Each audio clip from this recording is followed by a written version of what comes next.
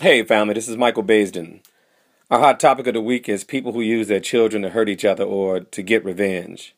It's amazing how people who at one time claimed to have been in love can turn to such hateful people when the relationship is over. It's a damn shame how men can turn their backs on their own flesh and blood after the separation or divorce and act as if their children don't even exist, and then have the audacity to ask for sex in exchange for child support or spending time with their own kids.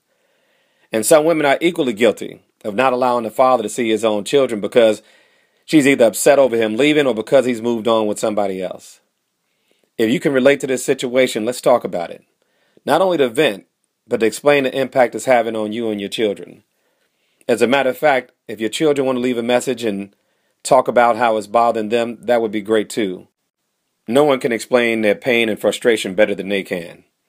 At the tone, you have two minutes to leave a message. Relax, speak in a comfortable conversational tone, and make sure to start out by saying, like, hello, Mike, my name is Karen from Manhattan. You know, make it sound personal. I'll play back the best calls on my weekly podcast. Once again, thanks for calling and for being a part of the BaisdenLive family.